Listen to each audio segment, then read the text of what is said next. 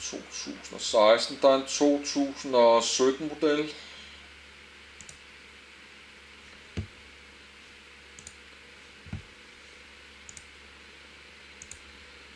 Det er en god øh, familie- og campingbil, så kører til Sydeuropa med øh, tre børn og to voksne.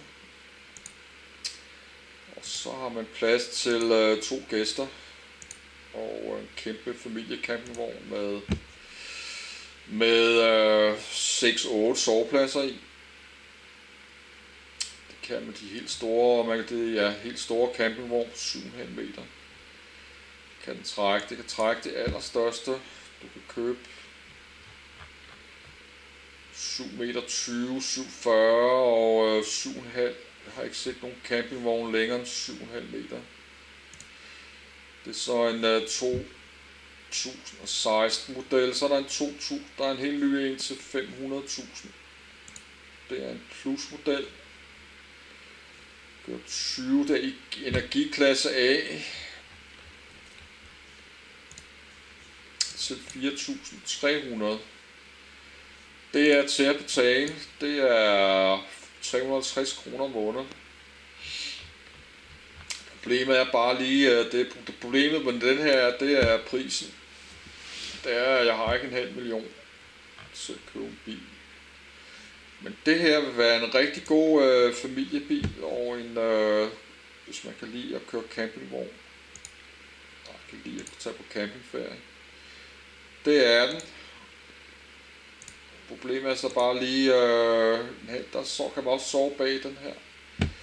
Der er der nok en meter 40 her. Man kan sove to mennesker bag den her.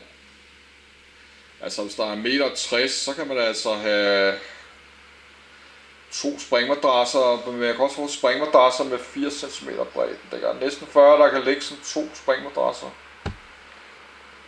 Øh, ah, det ser nok bredere, men der er nok 1,40 meter her, og så øh, man kan ligge og sove her uden at lægge bagsædet ned også Ellers så kan man bare lægge øh, et midtersædet ned og stikke fødderne ind. Det kan man. Så sådan et bil her kan man bo i. Og øh, have en kæmpe campingvogn. Problemet er bare, det er prisen. 1,90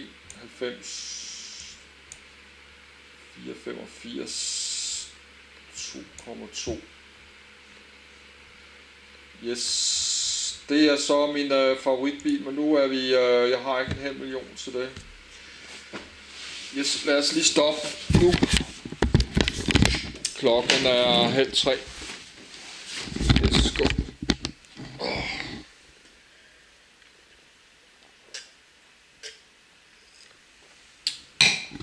Nej, jeg må sige, øh, gamle, gamle brugte øh, diesel det er for dyrt de grønne øh, årlige afgifter, så det er nok lige øh, det, jeg skal have. Så hvis det skal være sådan nogle gamle... Øh, men det er sådan eneste diesel, er det Ford Focus stationcar, der er sådan, sådan nede til, og så skal være en lidt nyere model, den til 3.800 om året. Det er så det billigste grønne afgifter. Ellers er det så øh, i benzin, stationcar er det jo de der Ford Mondeo, Ford Focus og øh, der er alle mulige andre modeller. Jeg kigger, det er svært at vælge mellem det også, øh, men man kan selvfølgelig også, jeg er jo førtidspensionist, og jeg har, og jeg er jo sikkert nok fortsat med i mange år nu at have råd med mine penge, så jeg ved ikke, hvad der er billigst. Det er jo nok billigst bare for mig at købe en anden lille øh, pendlerbil, sådan en Honda i øh, 10 en Honda i10, der kan køre 23 km på literen og øh, laste lidt mere. Det kan lade sig laste mere end øh, Toyota. Det er den pendlerbil, der kan laste sådan mest og træk. Så men vi har ikke mere. Øh, men det kan man hurtigt lave øh, søgning. Det kan man, så laver man øh, ny søgning. Så ser man øh, alle mærker sletter man det her personbil, og øh, det skal være benzin og kilometer fra... Nej, det ved jeg ikke, man kan... Øh, så supersoner, så udvide øh, kilometer literne. Ja, minimum 20 km literen.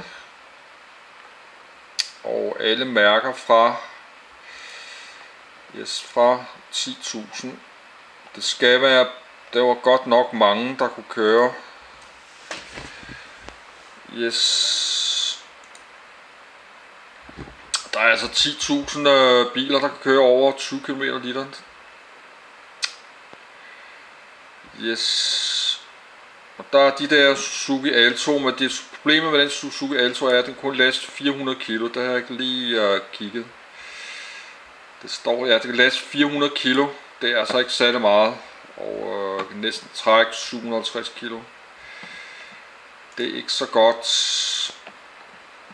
Så den er øh, Kia, men vi har ikke mere strøm. Se, den kan laste 475 og trække øh, 700. Men det er de her til de helt billige, øh, det er 50 kroner om måneden, 660 årligt, så der kan man være med. Nej, hvor meget var den kunne trække, den her Suzuki Alto? Kan trække øh, 750 kilo, så den kan faktisk trække mere. Den kan trække mere end den der Kia der. Yes, der er en Citroën C1 fra 2008 kan laste 425 kilo og øh, kan trække, øh, står ikke meget den kan trække, det er fordi den ikke har noget, det er jo ikke alle der har anhængertræk på. Nej, det vil da være en, øh, det vil være god økonomi, men øh, har vi også de der Peugeot 107 som ser sådan ud, men vi har ikke så meget tid, fordi den begynder at blinke lige om lidt. Det kan så laste næsten ingenting under 400. Det er endnu værre end L2'en. Træk. Og det, det er altså ikke meget, når den kan kun laste 400 kilo. Der kan man altså dog nok sidde øh, fem voksne i. Og øh, når vi havde sådan en øh, Honda i10 Nissan, er der også sådan en der, Nissan 2010 pendlerbil. Det er så alle, alle de her kan køre over 20 km, det sige, de alle sammen er til den billige øh, 660. Og hvad kan den laste? 300, ah, det er jo, hvis det er rigtigt, der er altså 20 kilo. Nej, 20, 2. Hvis det er rigtigt, så kan man, den er jo brugelig, den her bil jo. 320, du kan ikke engang dog nok sidde fire voksne, tre voksne i. Fire voksne kan du jo ikke engang sidde den her. Nej, det duer simpelthen ikke. Det håber jeg da ikke er rigtigt. Så er der en Peugeot Kio Chevrolet Spark år 2010. Jeg kigger bare lige på, hvad de kan laste. Den kan så laste rimelig meget. 535. Den kan så ikke trække noget der, fordi den ikke har anhængertræk. Det kan den 535. Og øh, nej, jeg tænkte på, at man kunne få sådan en lille, dem til den lave afgift her, der kunne trække en lille campingvogn og samtidig laste sådan rimeligt. Det er det, jeg sådan lige tænkte på. Ford K. Og hvad kan den, øh, den kan læse 400, står hvor meget den kan trække. Altså alle her er det til en lave afgift, men der er jo mange, der var jo øh, 1000 imellem, så, så det, men vi har ikke tid nu. Der er en Suzuki Splash. Det er sådan større, men den kan så stadig til en billig afgift. Alle sammen er det. 533, står ikke, hvor man kan trække. Det er jo ikke alle, der har anhængertræk på.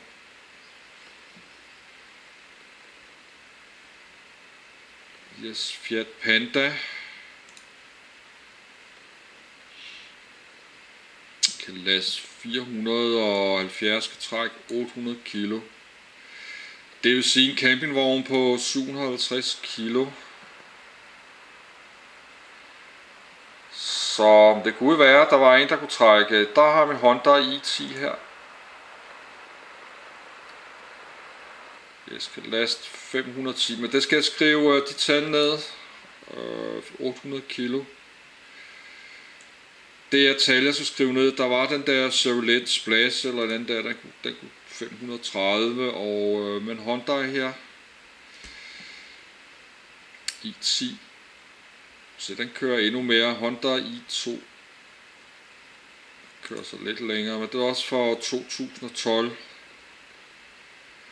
Ja, 525 kilo kan trække 800 kilo. Det er sådan, hvad de mest kan, så til, det, til den lave der. Men det kunne være en, der lige øh, kunne trække lidt mere. 900 kilo. Kunne trække 900 kilo og laste lige lidt mere. Men øh, der er mange nu. Der har vi ikke tid. Altså 12, 2012. Og der er Suzuki Alto 22 øh, km, men det kan kun, øh, det er kun 400 kilo. Nej, 420, det er sådan en nyere model af Alto, Suzuki Alto, og kan øh, max påhænge 200 kilo. Det duer altså ikke, når i hvert fald campingvogn. Yes. Nej, det er den her Solid Spark, kunne laste 535, tror jeg. Ja, 528, men det er Hyundai i 10 var 525, og øh, står ikke hvor meget den kan trække. Yes, hvis der ikke er anhængertræk på, så kan den ikke trække noget. Yes. Yes, lad os prøve at lige bladre hurtigt to sider frem.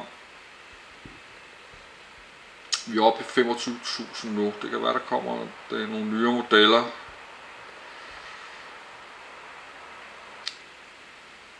Chevrolet Spark 2010. Ja, 535 kilo, og Honda i uh, Tiber 525. Den kan trække, øh, står ikke noget. Yes,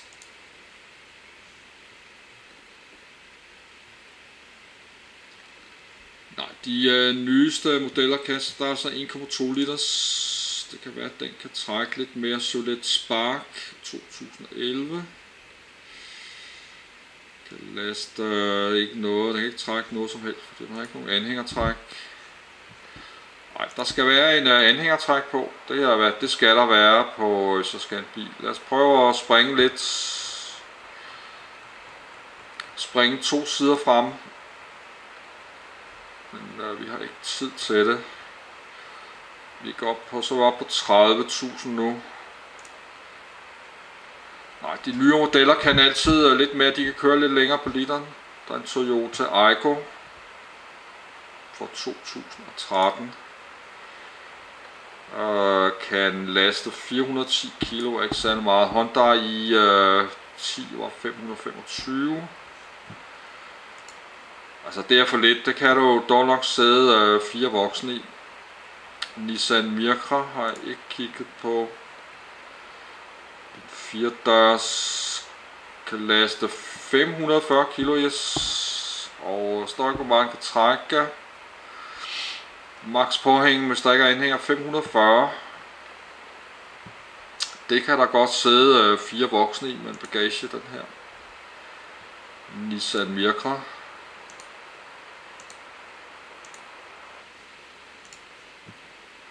Yes, men det må I uh, kigge på, der er 1,67, og den er faktisk lidt længere, den er sådan lidt større end de andre der. Nu er man under 61, den er næsten 4 meter lang. Så det kan godt være, at man kan få sådan næsten 4 meter lang og 1,70 meter bred. Nissan Mirka.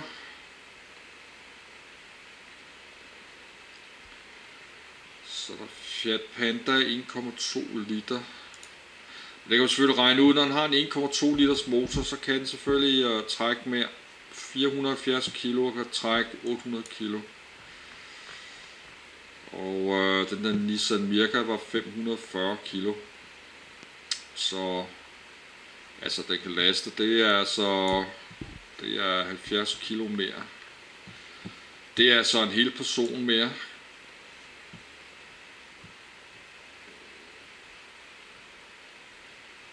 kommer sådan Nissan det er fra 2011. 540 kilo. Står ikke, hvor meget den kan trække.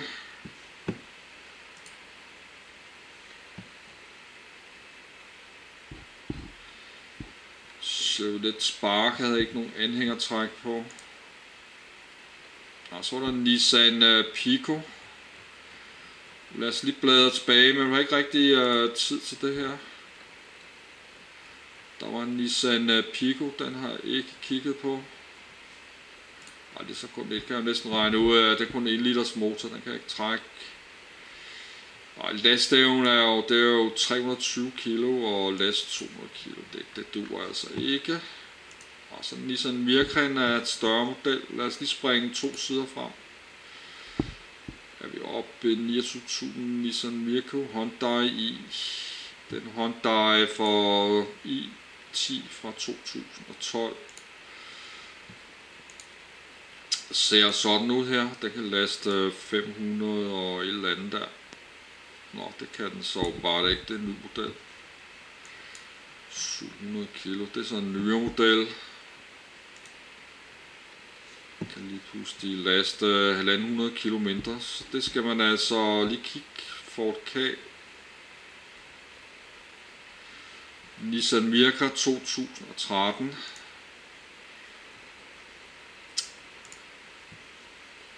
den kan laste 540 kilo. Der kan faktisk godt sidde fem mennesker i den her.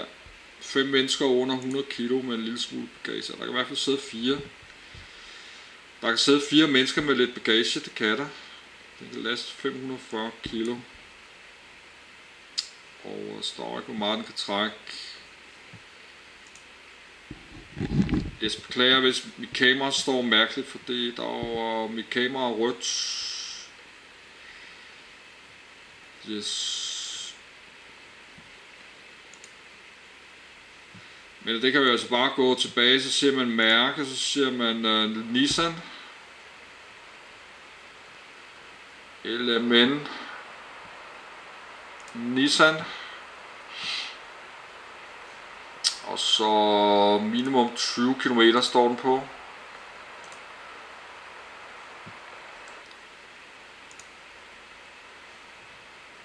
Nej, lad os lige øh, tage prisen lidt op. Den er Nissan Pico. Så er Mirka 1,2. Yes 2013 Mikan Mirka 5 dørs. Lad os lige springe. Ja, det er alle, med alle de her, de til de lave. Så er der Nissan Note.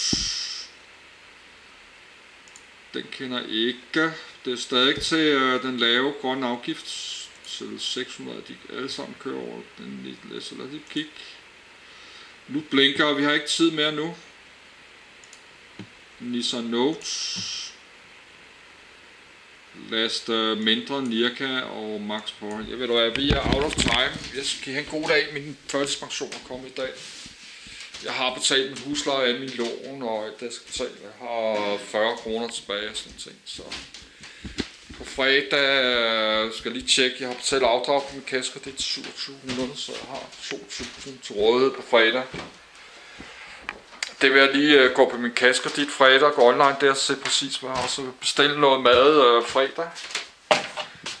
Og øh, jeg har fået overklaget mit, mit net. Der var ikke penge til Netflix, men der har jeg fået øh, skiftet mit andet Mastercard til min dit Jeg har to kaskredit.